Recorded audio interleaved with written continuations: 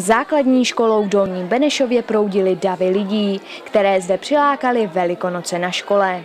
Místní žáci a pedagogové si zde společně připravili opravdu širokou nabídku tvořivých činností. Jednou za čas by měla škola víc s nějakým takovým exkluzivním programem, pozvat dě- rodiče do školy, do budovy, aby viděli, že není to jenom počítání, eh, psaní učení různých věcí, pojmů, ale je to i taky o eh, jiné zábavě, o hře, o různých pracích a my jsme se rozhodli, že Velikonoce, které slavíme každým rokem, připravíme letos pro rodiče na naší budově na hlavní škole.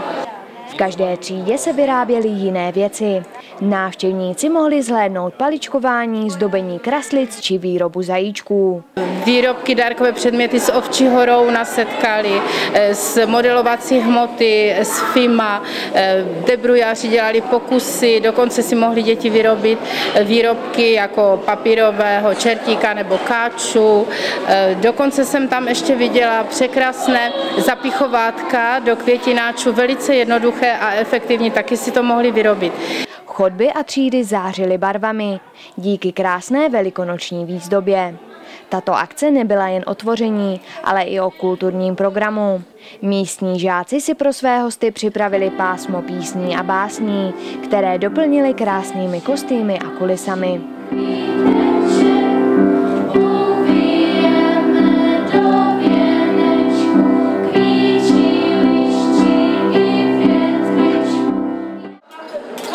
Chodzi do provody, dejte vejce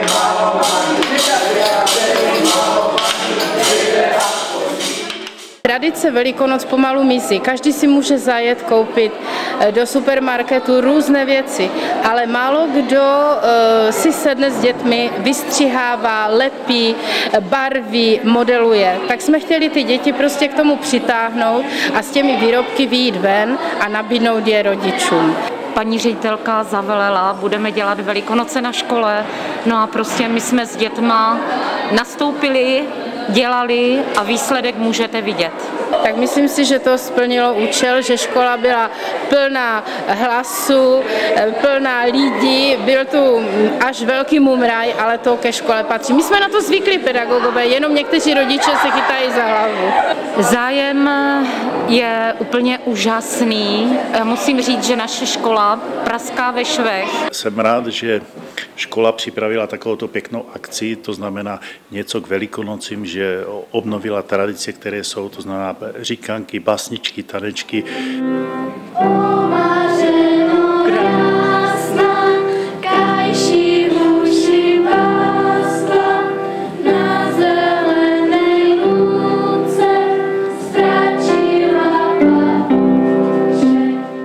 Vytvořili jsme výtvarné práce, ehm, některé jsou takovou většího charakteru, jako ty ovečky nebo hudební nástroje, masky, ehm, spousta výkresů, s tématikou jara a velikonoc. Já bych jim chtěla za to poděkovat, protože sama nic nezmůžu. Já můžu mít nápad, ale potřebuju k jeho realizaci tým.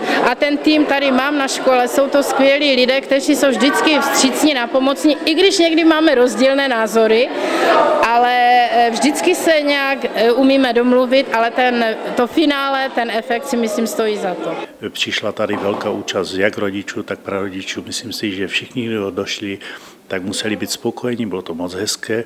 Na návštěvu zavítali také bývalé učitelky, které pohostila místní ředitelka. Přejím, aby jim to, tak jak se jim to podařilo letos, aby se jim to podařilo i při dalších akcích, které také budou dělat. Základní škola v Dolním Benešově se na Velikonoce pilně připravovala a nyní už jen zbývá těšit se na nadcházející svátky. Z Dolního Benešova Markéta Aníková.